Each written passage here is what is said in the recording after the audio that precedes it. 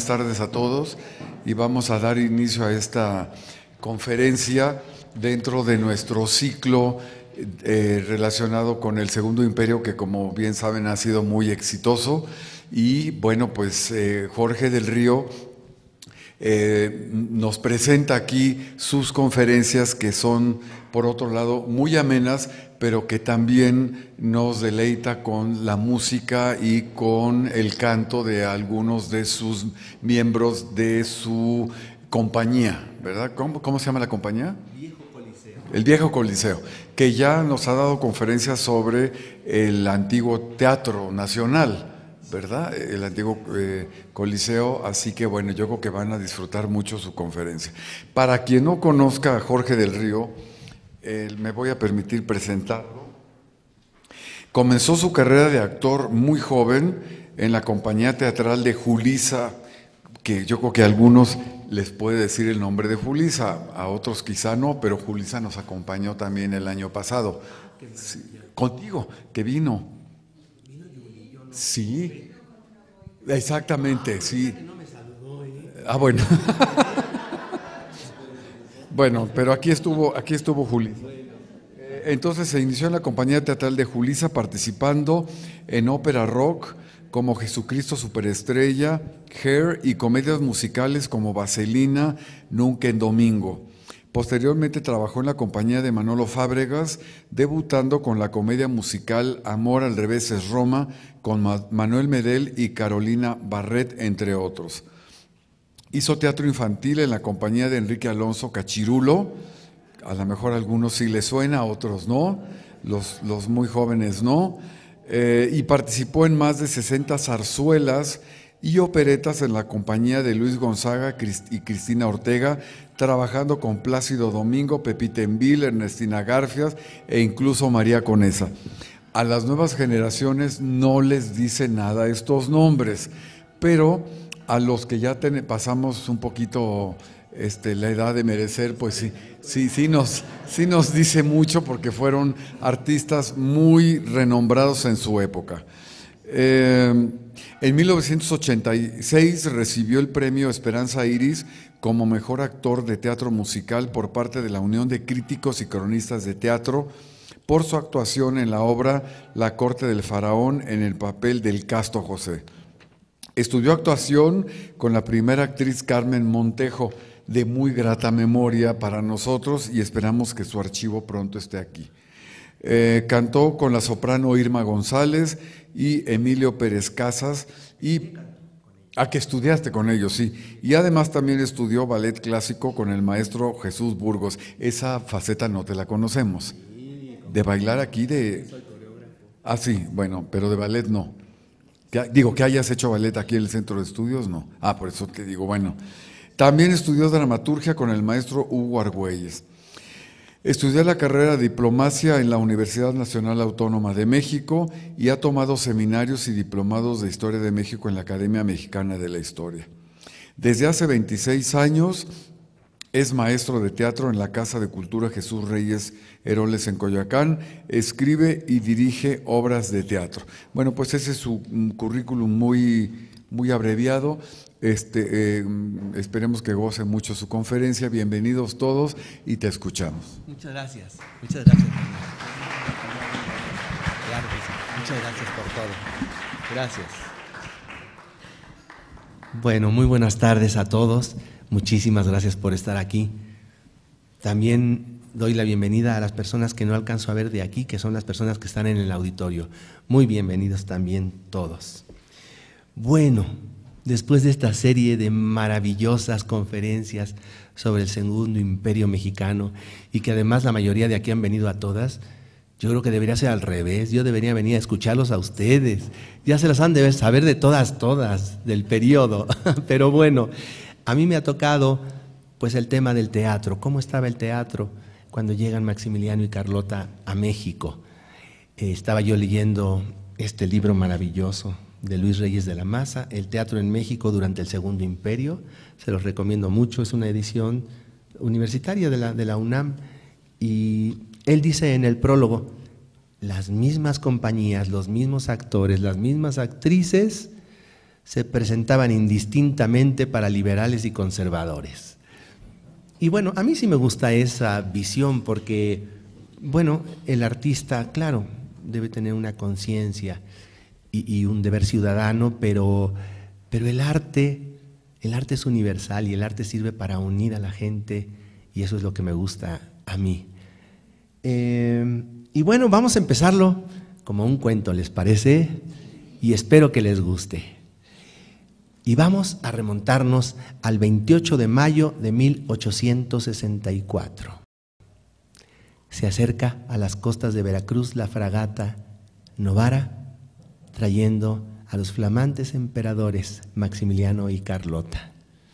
Se va acercando la fragata, ambos están impacientes, entusiasmados, y bueno, apenas alcanzan a ver un poco, ¿no? Se va acercando un poco más la fragata y ya se alcanza a ver San Juan de Ulúa, que bueno, no ha de ser muy bonito porque pues se ve así toda la piedra tremenda, ¿no? Eh, alcanza a divisar Maximiliano que hay una valla de barcos franceses esperando a la Novara para darles la bienvenida. Y entonces Max, perdónenme que le llame así, ¿eh? pero es que no es falta de respeto. Y entonces Max toma en ese momento una de sus primeras medidas como emperador y le dice a Tegetov, que es el capitán de la fragata, le dice, yo no voy a entrar por ahí. Y Tegetov se queda helado, ¿no? Le dice, yo no voy a entrar por ahí porque es es la mejor manera de mostrarles que si estoy aquí es debido al ejército francés. Vire usted a la derecha y vamos a entrar por otro lado. Entonces le dice Tegetov, eh, pero está, hay muchas epidemias en Veracruz y solo hay un cordón sanitario en la parte donde usted, donde a usted lo están esperando. Y Max dice, pues no me importa. Y buscamos otro lugar y por ahí llegamos. Entonces empiezan a buscar, ¿no? ¿Dónde encallar? Finalmente llegan. Y bueno, no, no es un muy buen principio, ¿no? Porque efectivamente hay, pestes, hay epidemias y está muy difícil, no bajan del barco. Y encima de todo, eh, Juan Nepomuceno Almonte, ponemos la foto, Claudio, por favor. Ahí lo tenemos. Él, miembro de la regencia, él tenía destinado recibir a los emperadores. Pero ¿qué creen? Se le hace tarde. Fíjense nada más cómo pueden ocurrir esas cosas, ¿no? Algo tan importante y, se le esperaba, se, esperaba que estuviera él ya preparado desde la mañana, pues no, va llegando hasta las seis de la tarde. Y estos pobres en la fragata ahí con ese calor espantoso y la emperatriz está verdaderamente afligida Imagínense ella que viene de, la corte belga, ¿no? Y que pasen estas cosas, que no ha llegado la persona que los va a recibir y que no pueden desembarcar. Y luego ella lo más que observa son sopilotes, los sopilotes, que había cantidad de sopilotes en aquella época por ahí. Entonces todo era así medio feo, ¿no? El mismo clima empieza a ponerse muy feo, con unos aires, con un norte espantoso, con lluvia. Entonces eh, fue así un poco así como mm, profético aquello, ¿no? Finalmente ya los reciben, bajan y bueno, pues empiezan las vicisitudes del viaje, desde Veracruz hasta la Ciudad de México. Pues pasan mil y un problemas, se rompe una de las ruedas del carruaje, eh, la pobre Carlota con aquellos vestidos que se usaban, a bajarse y el polvo y el lodo y todo. Y bueno, eh, están muy afligidos ambos, Max y Carlota, porque son son, digamos, fríamente recibidos en Veracruz. Veracruz es, era en ese momento, pues, eh, una ciudad más bien liberal, ¿no? Así como Puebla desde hace mucho se le considera que es más bien conservadora, pues acá era liberal, ¿no? Entonces están muy preocupados porque dicen, híjole, si así empieza esto, ¿cómo va a continuar? Pero bueno, afortunadamente ya llegan a Puebla y ahí sí tienen un recibimiento maravilloso. ¿no? La población adorna los balcones, les echan flores vivas, arcos que crean muy bonitos, con mucho arte. Y bueno, ahí ya se ponen muy contentos ellos. Ellos van a llegar primero, antes de llegar a la Ciudad de México, llegan a la villa, van a la Basílica de Guadalupe. Es, son católicos y además es un gesto muy importante para el pueblo de México, ¿no? Es un punto donde el pueblo puede identificarse con ellos. Entonces ahí están esperando los 100 carrozas de esplendente lujo y bueno, todas las personas con sus mejores trajes, sus mejores vestidos y hay una misa ahí y pernoctan de hecho ahí. Y a la mañana siguiente, que va a ser el 12 de junio de 1864, ya parten hacia la Ciudad de México. Y bueno, aquí también tienen un gran recibimiento, también se hacen unos arcos maravillosos. Yo no sé si han visto las fotografías. Eh, yendo por lo que ahora es Madero, donde desemboca al Zócalo, bueno, ahí había un arco gigantesco, que además eran hechos de cartón, era vil escenografía, ¿no? Pero también hechos que ustedes juran que ya existían ahí, como el Arco del Triunfo, ¿no? Muy bonito, muy bonito. Bueno, ya metiéndonos un poquito en, la cuestión del teatro, sí saben que voy a dar dos conferencias, ¿verdad? Esta y la del próximo lunes. En la del próximo lunes yo voy a abordar, aparte de lo que no alcance a abordar hoy, de esto del teatro, voy a abordar una parte interesante. Ya no va a ser el, segundo imperio y el teatro, sino el teatro que se ha hecho del segundo imperio, ¿no? O los momentos terribles que, que pueden parecer un sainete, pero que terminan en tragedia, ¿no? Todo eso vamos a platicar el próximo lunes, que espero contar con su presencia. Bueno, llegan ellos y don José Zorrilla, el autor de don Juan Tenorio, que está en ese momento viviendo en México, ya tenía un buen tiempo, había venido desde 1854, eh, llega, llegan los emperadores a la ciudad y José Zorrilla compone unos versos por su llegada. Vamos a escucharlos, por favor.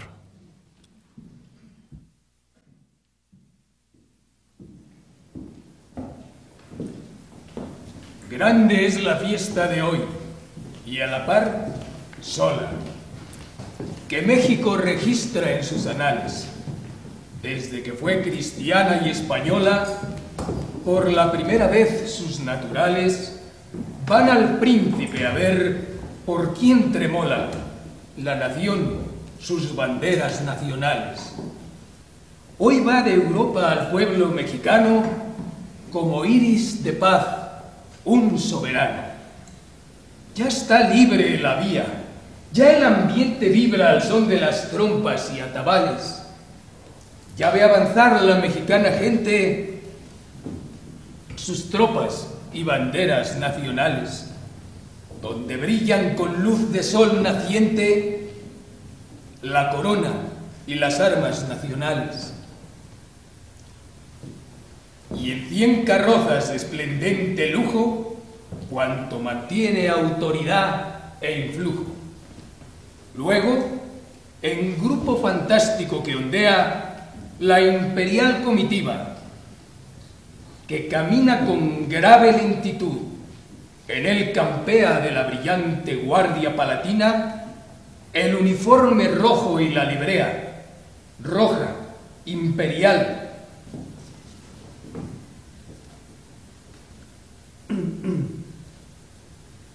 cuyo color domina de aquel dorado grupo entre las olas, como entre rubia mies las amapolas. Ellos son la simpática Carlota, de alto decoro y dignidad modelo, sencillez en alcázares ignota, da a su faz púdico velo, grave, serena, perspicaz, lo nota todo y mira de frente y sin recelo de perecer, fijándose altanera que no tiene doblez su alma sincera.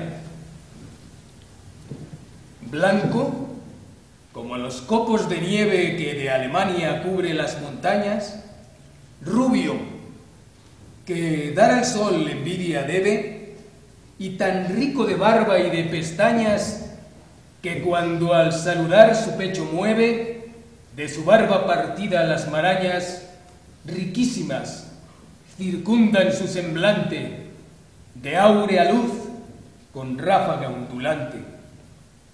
Cortés, sencillo, natural, sereno Maximiliano avanza.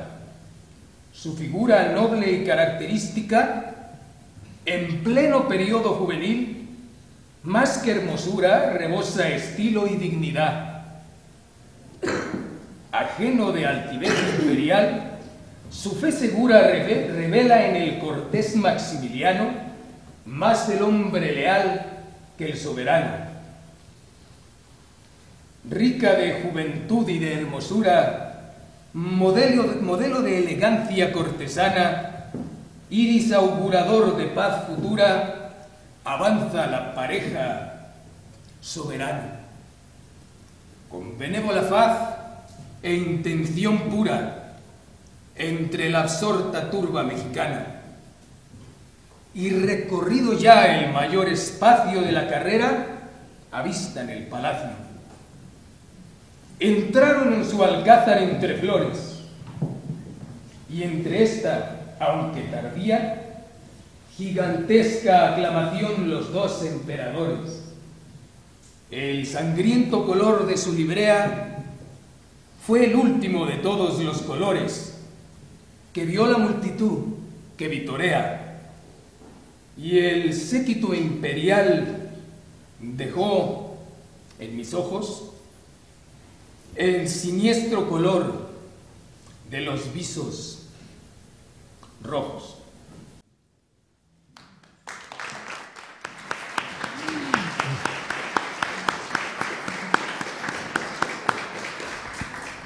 Es solo un fragmento de los versos, porque bueno, eran casi libros los que se escribían antes, ¿no? De los versos. Bueno, el día 19 de junio de 1864, es decir, una semana de que llegaron a México, se ofrece un gran baile en el Teatro Imperial. El Teatro Imperial, fíjense nada más qué teatro tuvimos aquí en México. Observen ustedes eso.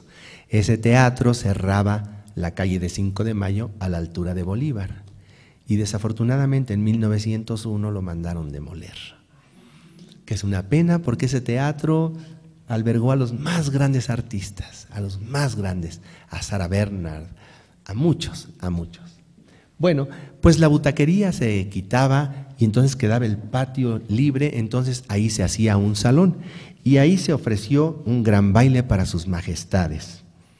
Voy a leerles una parte nada más de la crónica que se publicó de este baile. Crónica del baile ofrecido a sus majestades en el Teatro Imperial, publicado el 28 de junio de 1864 en el Diario Oficial del Imperio. En el gran baile del domingo 19, el golpe de vista del salón del Teatro Imperial era magnífico pendían multitud de candiles reproducidos en los cien espejos con que fue adornada entre flores y bandas de color la hilera de balcones y plateas. El piso tenía alfombra blanca con lentejuelas y escarcha de plata. Una plataforma levantada sostenía a la brillante orquesta del señor Eusebio Delgado. A la derecha alzábase el trono de sus majestades bajo un elegante pabellón de seda carmesí. El corredor circular inmediato tenía mesas con profusión de bizcochos, helados y licores para que pudiese refrescar la concurrencia. A las 9.30, sus majestades desmontaron de la carroza en el vestíbulo del teatro y fueron aclamados por el gentío. El emperador iba vestido de negro y llevaba las insignias de gran maestre de la Orden de Guadalupe. La emperatriz llevaba un rico traje de seda color rosa, con vuelos de encajes de Inglaterra y una corona de diamantes que verdaderamente deslumbraba. Diose principio el baile con la cuadrilla de honor. Bueno, ahí bailó Maximiliano con la hija del prefecto de la Ciudad de México y Carlota bailó con el mariscal Bacén, que era el, mariscal de las Fuerzas Armadas Francesas en México.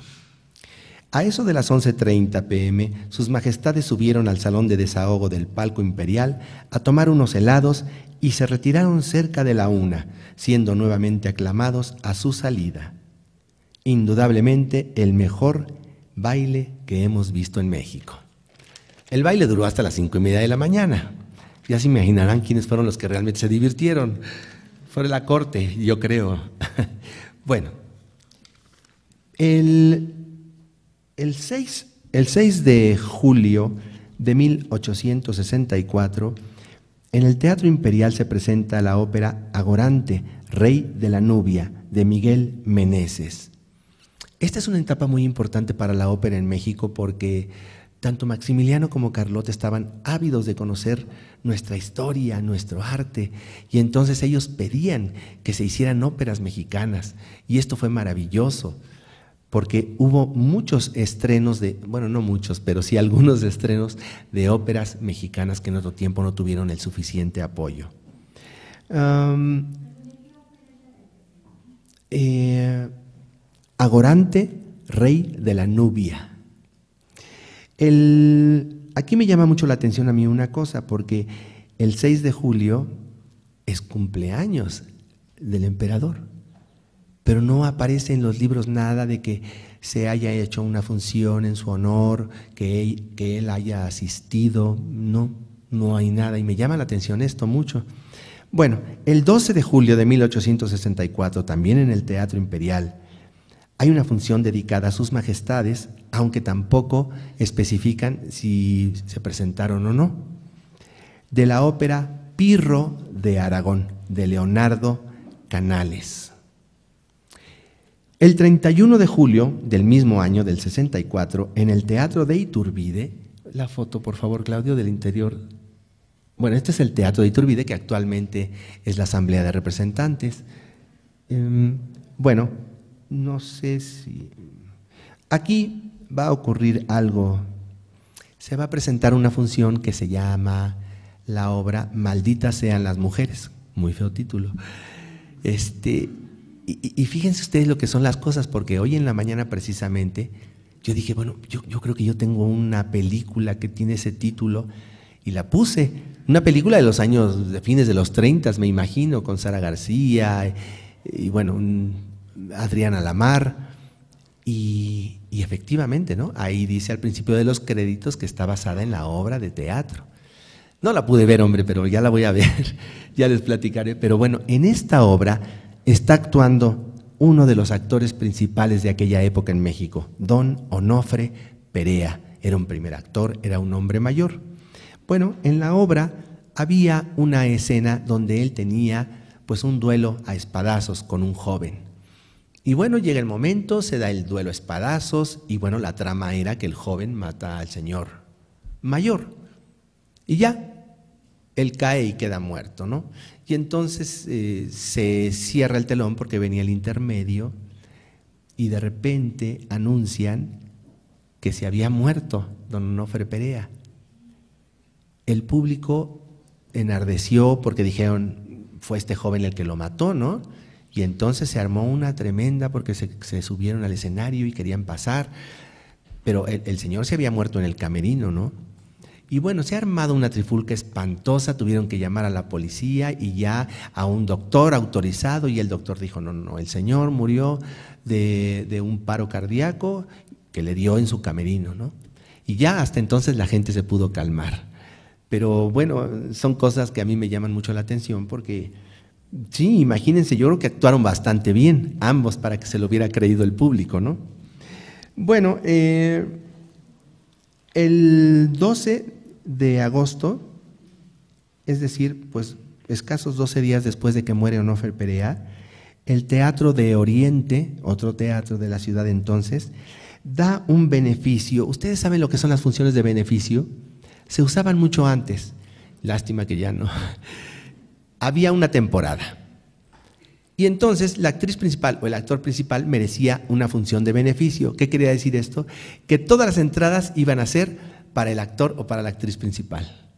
Y no nada más eso, se estilaba mucho que iba mucha gente importante de la política, de la cultura, del medio artístico y daban grandes regalos a los actores. Ya no hay eso. Se acabó. Bueno, entonces hay un beneficio para la familia de Onofre Perea. Se presenta un drama que se llama La oración de la tarde del español don Luis Mariano de Larrea. En estos momentos, eh, Max no está en la Ciudad de México. Él va a hacer varios viajes largos para recorrer el interior del país. El primer viaje es del 4 de agosto hasta el 30 de octubre de 1864. Entonces, para que ustedes se vayan dando una idea, pues son tres meses, ¿no? Agosto, septiembre y octubre. Tiempo en el que Carlota se hizo cargo principalmente del gobierno. Claro que ellos dos estaban muy comunicados y ella le preguntaba su parecer de todo a él, pero, pero pues físicamente la que estaba en esos momentos al frente del gabinete era Carlota.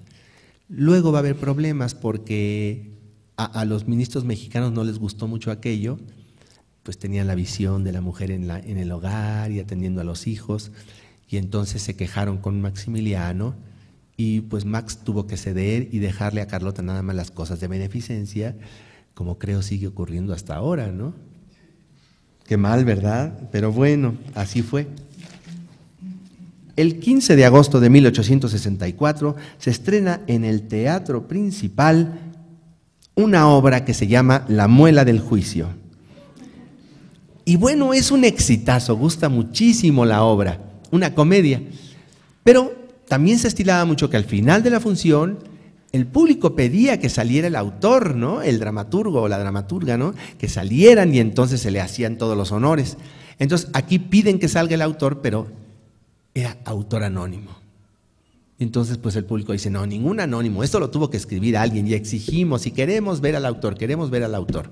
Entonces no le queda más remedio a este señor y se presenta y era Juan A. Mateos, Juan Antonio Mateos. Está la foto, ¿verdad? Ahí lo tienen ustedes.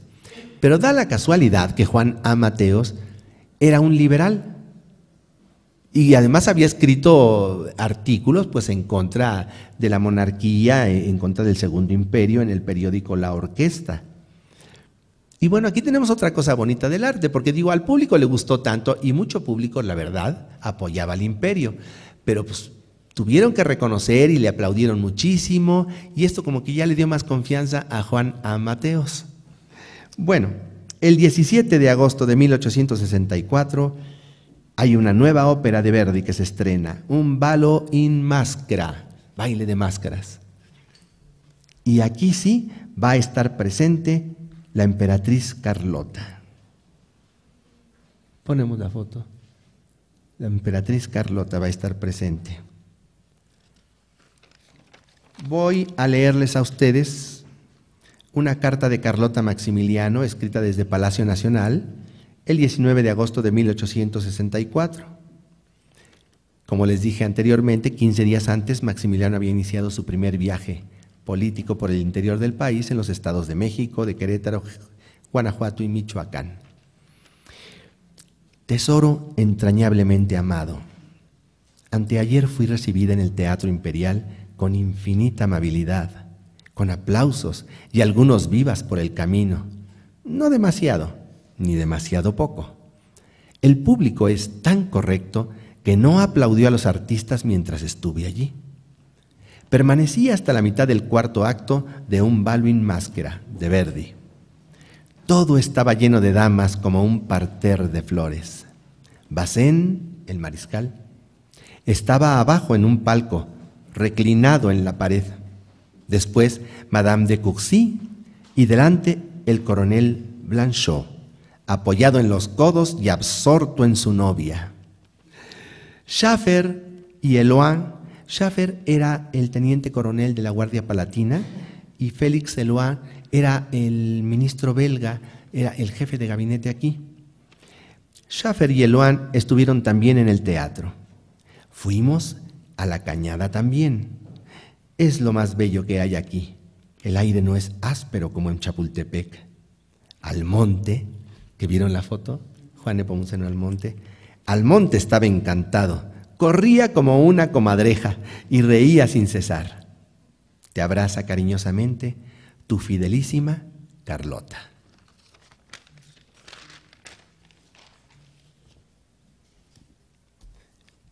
...16 de septiembre de 1864... ...aunque Max continúa de viaje... ...ordena que todos los teatros ese día, por ser el Día de la Independencia, la entrada sea gratuita. Entonces, en todos los teatros entró gratis. ese 16 de septiembre.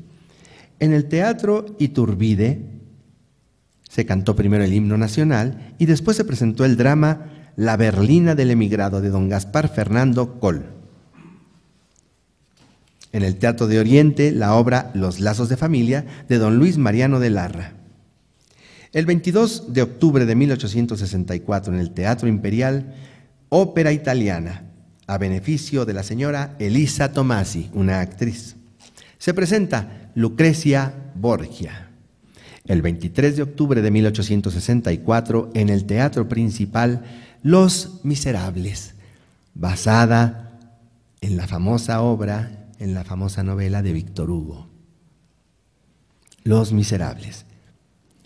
Es una adaptación de Juan a Mateos y tiene un gran éxito también.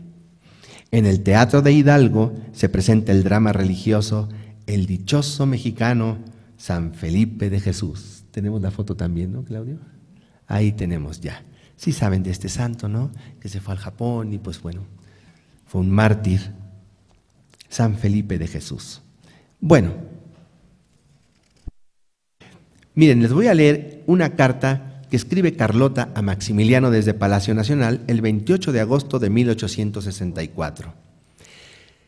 Tesoro entrañablemente amado, te agradezco de todo corazón tu cariñosa carta y tus telegramas. Ayer convoqué al Consejo de Ministros. Acordamos dar al teatro cuatro mil pesos. Corta, el ministro de Finanzas francés se inclina mucho a ello. Se te enviará el decreto sobre el teatro. Después fui a una hacienda cuyo dueño insistió en invitarme. En un lapso de horas había arcos triunfales por todas partes, discursos, niñas blancas, vivas y el carruaje lleno de flores y frutas. Abrazándote con amor, tu Carlota. Sí, empiezan a haber subvenciones para el teatro, fuertes sumas de dinero para apoyar el teatro. el 30 de octubre de 1864, en el teatro principal se presenta El privado del rey de Ignacio Rodríguez Galván. También tenemos por ahí la ilustración, Ignacio Rodríguez Galván, uno de los mejores dramaturgos de México del siglo XIX. Él y Fernando Calderón fueron de los más importantes dramaturgos mexicanos. Tuvieron la mala suerte de enamorarse de la misma actriz, que se llamaba Soledad Cordero, y bueno, pues fue todo muy triste porque finalmente ya no, anduvo con ninguno de los dos y por diversas razones los dos murieron jóvenes. Ignacio Rodríguez Galván y Fernando Calderón. Bueno, fue poca gente, pero entusiasta. En el Teatro de Iturbide hay una función monstruo, de grande aparato, así se decía, de gran lujo a beneficio del joven galán Manuel Martínez, con la presencia del ministro de Casa y Corte, don Juan Nepomuceno Almonte. Ahí lo tenemos de nuevo, Almonte. Ah, el 2 de noviembre de 1864, en el Teatro Principal, se presenta la obra completa Don Juan Tenorio, de José Zorrilla. Maximiliano nombró a José Zorrilla lector de la corte porque le encantaba que les leyera sus obras. Curiosamente que se las leyera, no tanto que se las representara. Y entonces, bueno, pues José Zorrilla tuvo en aquellos años mucho apoyo y se presentó muchas veces don Juan Tenorio. Esta fue una de ellas. En los entreactos, la bailarina Anieta Galetti ejecutará el gracioso baile de la pandereta.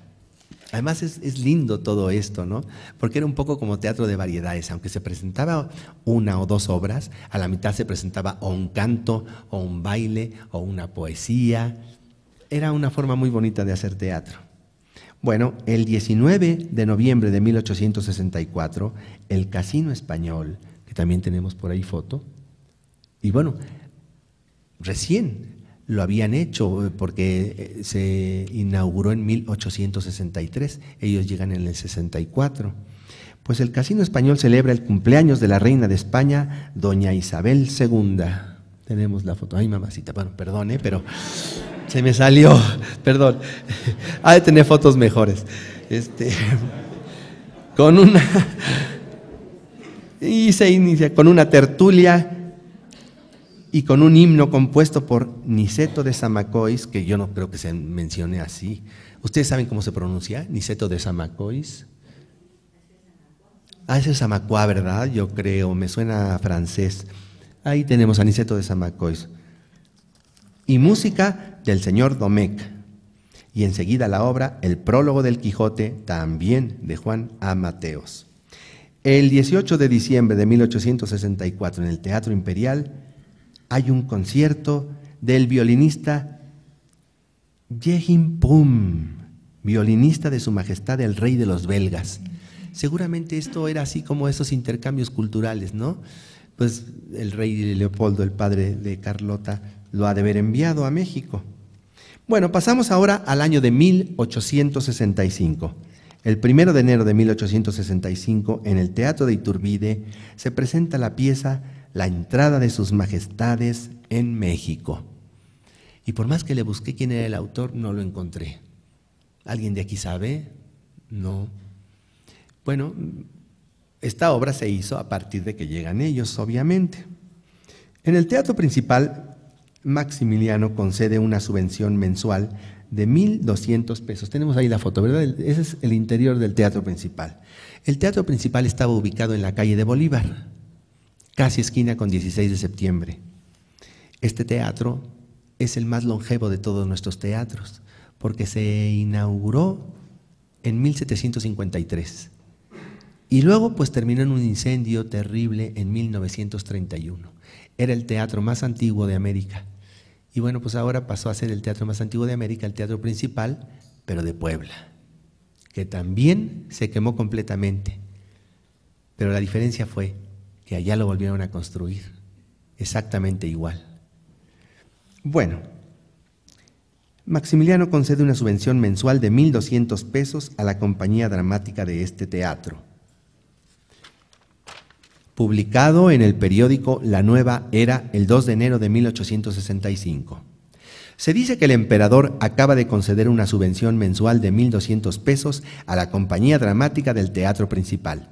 Si esta noticia es cierta, como lo creemos, la celebramos mucho, pues bien merecen esta recompensa actores que han logrado a fuerza de grandes sacrificios y de una constancia infinita mantener por tanto tiempo abierto dicho teatro sin protección ninguna clase por parte de las autoridades y a pesar de la poca concurrencia que asiste a él. Híjole, parece que están hablando de ahora. Aquí hay uno que otro teatrero, ¿verdad, Cayetano?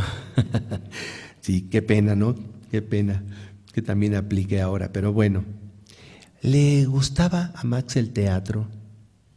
Yo pensaba que sí, pero luego ya me quedé un poquito dudoso al leer esto les recomiendo este libro, ¿eh? Correspondencia inédita entre Maximiliano y Carlota, Conrad Ratz. Este es un telegrama que le envía Max a Carlota desde Cuernavaca, el 22 de abril de 1866.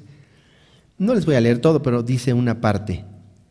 Creo que es bastante que tú vayas a la función teatral. El teatro es el solo punto de que en todas ocasiones pido dispensa. Oh, qué pena. ¿Quién sabe, verdad? ¿Quién sabe? A lo mejor en ese momento así no estaba muy de humor. Bueno. en el teatro de Iturbide hay un beneficio para Merced Morales. Merced Morales es otro de los grandes actores de este siglo. aquí nosotros, yo les platiqué hace unos momentos del Teatro Imperial, que tuvo muchos nombres. ¿eh? Primero se llamó Teatro Santana, después Teatro Vergara, porque la calle Bolívar entonces se llamaba Vergara, después se llamó Teatro Imperial y finalmente Gran Teatro Nacional. Ese teatro se lo debemos a un gran hombre, que fue Francisco Arbeu. Y yo sé que ustedes saben que hubo también un teatro Arbeu en su honor. porque su yerno lo construyó en su honor. Desafortunadamente él había muerto cinco años antes cuando se estrenó el Teatro Arbeu. Francisco Arbeu fue el que construyó el Teatro Imperial. Y tenemos aquí presente con nosotros a la tataranieta de Francisco Arbeu. Pido un aplauso para ella, por favor.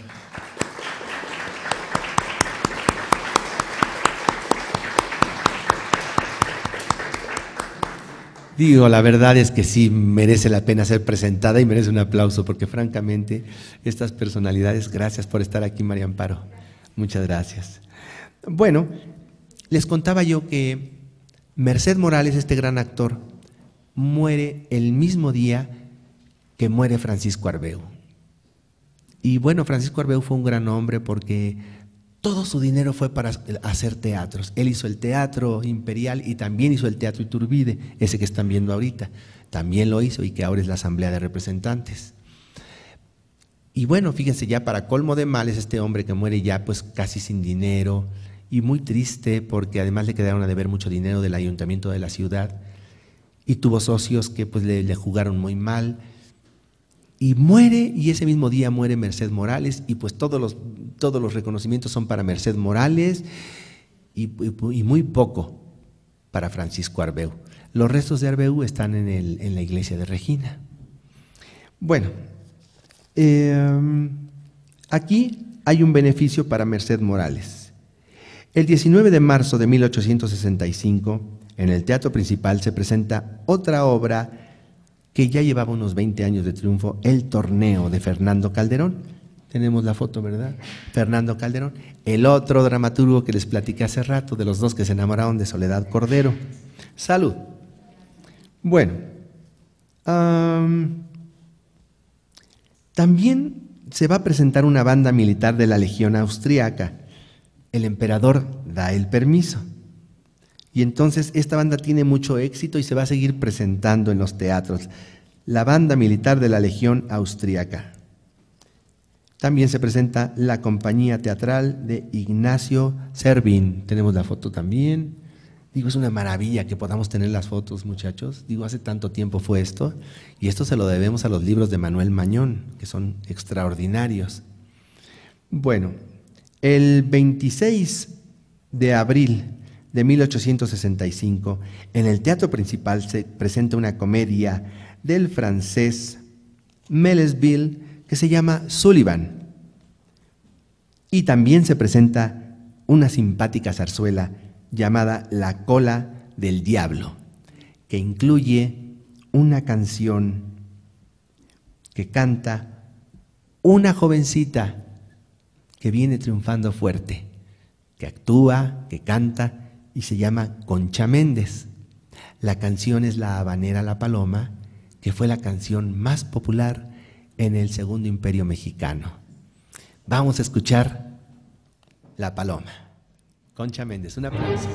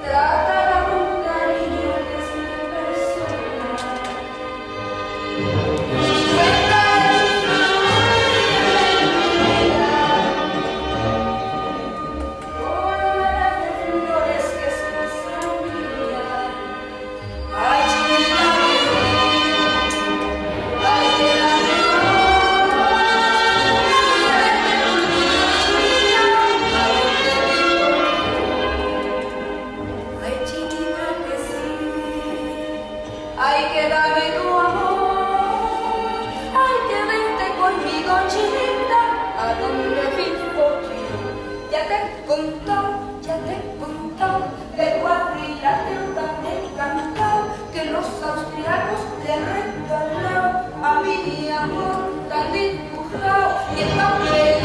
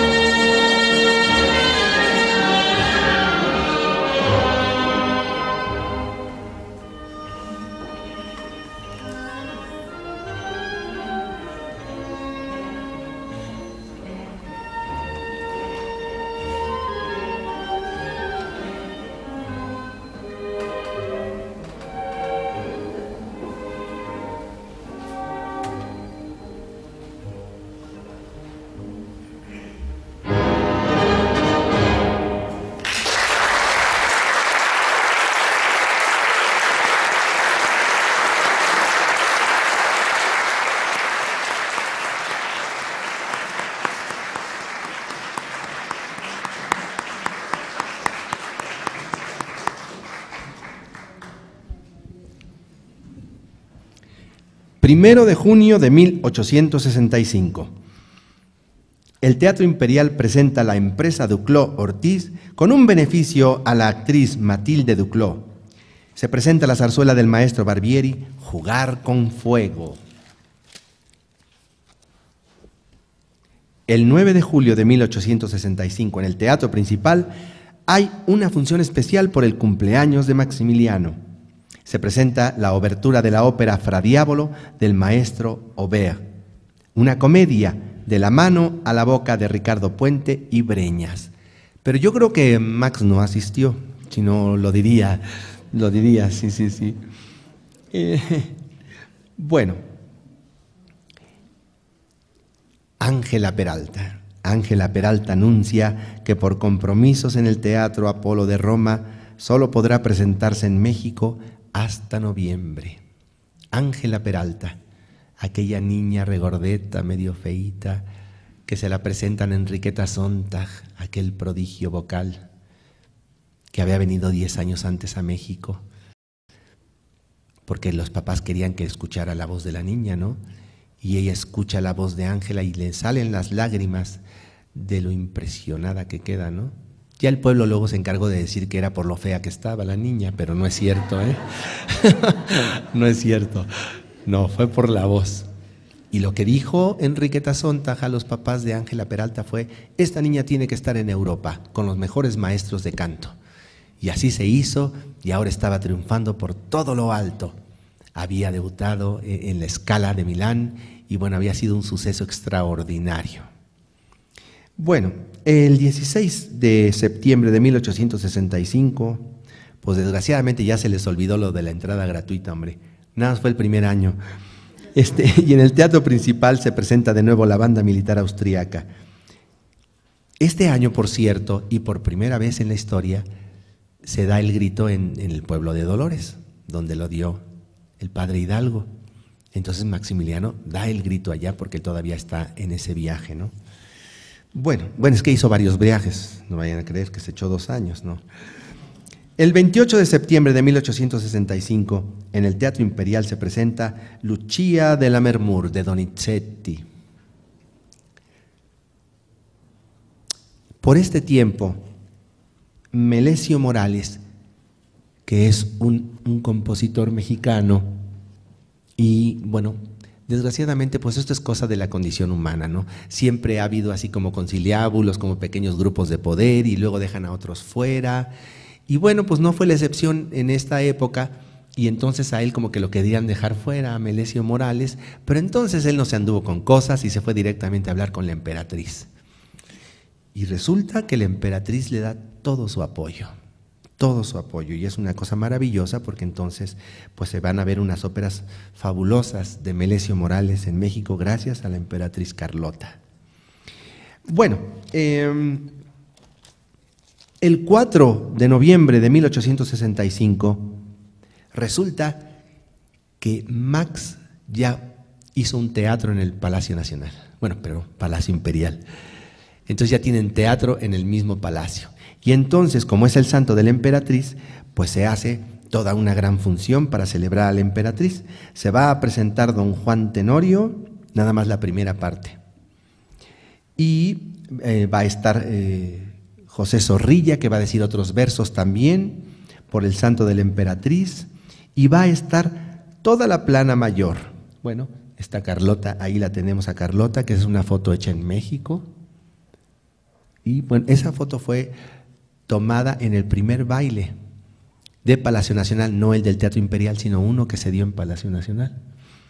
Y bueno, va a estar la primera plana de los mejores actores en esta función.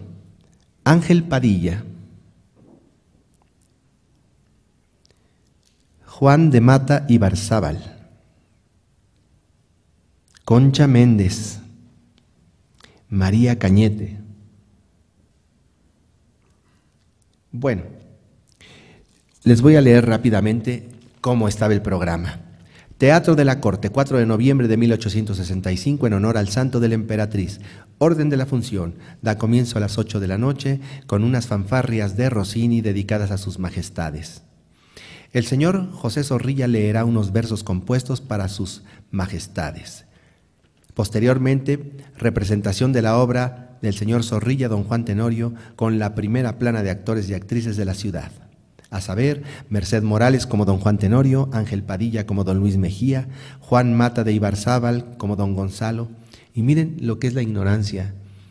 Yo hice una obra de teatro en el Centro Cultural Universitario, mm, no me acuerdo en cuál de, las, de los teatros de ahí, y tuve una compañera actriz que se llamaba Connie Ibarzábal, y ella me contaba que descendía de un actor muy importante del siglo XIX. Y yo dije, ay, pues qué bonito y vuelta de hoja. Y ahora que veo la importancia que tuvo este señor, digo, no puede ser.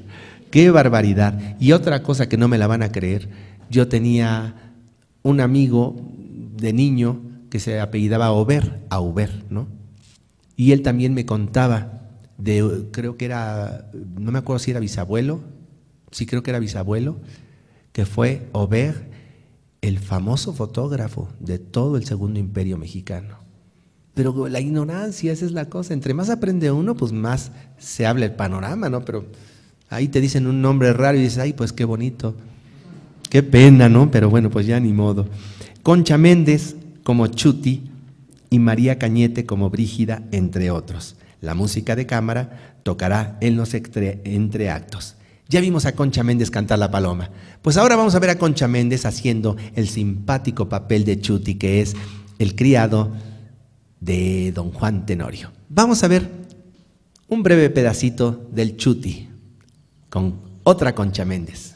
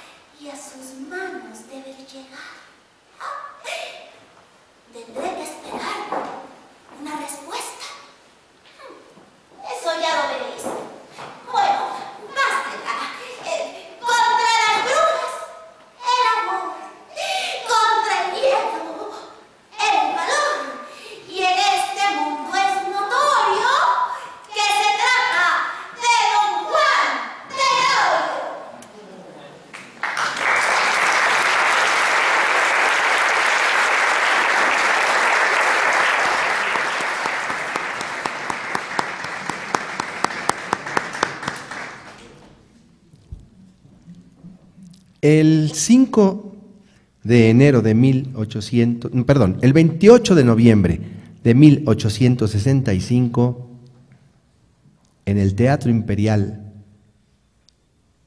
va a tener un regreso maravilloso Ángela Peralta con la ópera Sonámbula.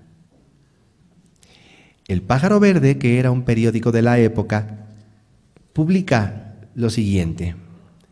Hizo prodigios de vocalización, sus escalas cromáticas, sus trinos, sus arpegios, las notas picadas fueron ejecutadas con limpieza exquisita. El 5 de enero de 1866, en el Teatro Imperial, se presenta la ópera italiana María de Rohan de Donizetti con Ángela Peralta. Son tiempos muy difíciles para el Segundo Imperio Mexicano. Eh, acaba de morir el papá de Carlota, el rey Leopoldo de Bélgica. Esto es un es, algo muy duro para Carlota. Su papá era su adoración. Poco después va a morir también su abuela María Amelia. Todo esto va a ir conformando esa tragedia que les platicaba yo y que voy a ahondar más en el asunto la próxima semana. Eh, ellos están de luto, no pueden presentarse a la función, pero les voy a leer el nombramiento que hicieron de cantarina de cámara a Ángela Peralta los emperadores. Palacio Imperial de México, enero 29 de 1866. Señorita doña Ángela Peralta, el emperador, antes de partir para Cuernavaca, me dejó el encargo de manifestar a usted el pesar que tienen sus majestades de no poder asistir por el luto que guardan a la función de su beneficio, siéndoles esto más sensible cuanto que han tenido ocasión de presenciar su privilegiado talento, pero deseando que a pesar de su ausencia tenga usted en los recuerdos de este día una memoria suya, me manda poner en sus manos el pequeño obsequio con que acompaño esta carta. El pequeño obsequio es un aderezo de diamantes impresionante. Al mismo tiempo, me ordena el emperador participar a usted que con esta fecha ha sido servido nombrarla cantarina de cámara. Admita usted la seguridad de mi distinguida consideración, el primer secretario de ceremonias, Pedro C. de Negrete. Y bueno, sí habían tenido oportunidad de oírlo, ¿no? Aquí tenemos una carta de Maximiliano a Carlota, escrita en Palacio Nacional, el 9 de diciembre de 1865. Ángel bien amado, ayer por la noche tuve mi concierto que salió en verdad extraordinariamente, mejor que ninguno de los anteriores en Palacio. Las cantantes a las que la rivalidad hacía rabiar sostuvieron una verdadera competencia, aunque la vencedora fue nuestra Ángela Peralta. Cantó como un ruiseñor. Rara vez en mi vida he oído algo tan admirable. Aplaudí yo también a rabiar y conmigo, a pesar de la etiqueta y la seriedad toda de la sala, también aplaudieron. Con Josefa Iturbide, la buena prima, hija del emperador Iturbide, Agustín de Iturbide. Ella eh, formaba parte de la corte y cuando Carlota regresa a Europa, eh, Max se apoya mucho en ella, Max siente una gran soledad y le pide a ella que la acompañe a comer, en fin, entonces dice con Josefa Iturbide, la buena prima, así le decía él, y Pepita de la Peña, la pequeña mariscala, a la TET, que estaban encantadas. El mariscal, Bacén, estaba de buen humor. Te abrazo y te agradezco de todo corazón tu acertada e inteligente actitud en Yucatán. Ella había ido a un viaje a Yucatán, muy importante. Era un viaje planeado para los dos, pero nada más pudo ir ella.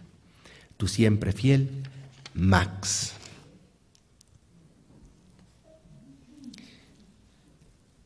29 de enero de 1866. El Teatro Imperial anuncia a lo grande la ópera Traviata con Ángela Peralta. Y yo pues dije, tenemos que terminar bonito. Y dije, pues voy a invitar a Ángela Peralta que venga. Así es que les pido un aplauso para recibir a Ángela Peralta, por favor.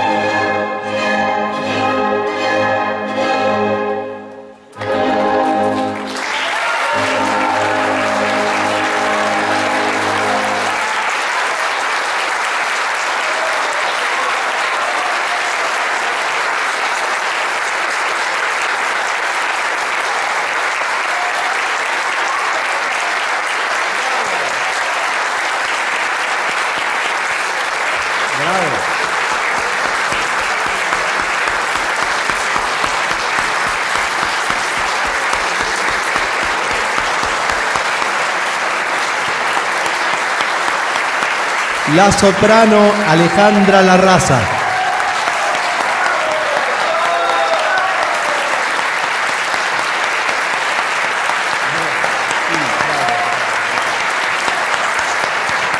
La actriz Verónica Barba.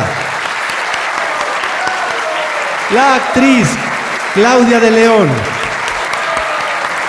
El actor Mario Sosoaga.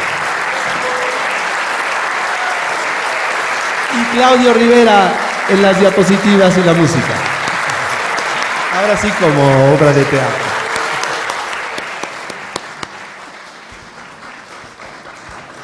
Se abren un poquito, muchachos, un poquito al lado. Bueno, pues con esto vamos a dar fin a esta primera parte del Segundo Imperio Mexicano y el teatro. Espero que les haya gustado. Y, y bueno, pues yo los espero el próximo lunes para, para continuar hablando de este tema tan interesante. Muchísimas gracias al doctor Ramos por esta oportunidad. Muchas gracias por su presencia.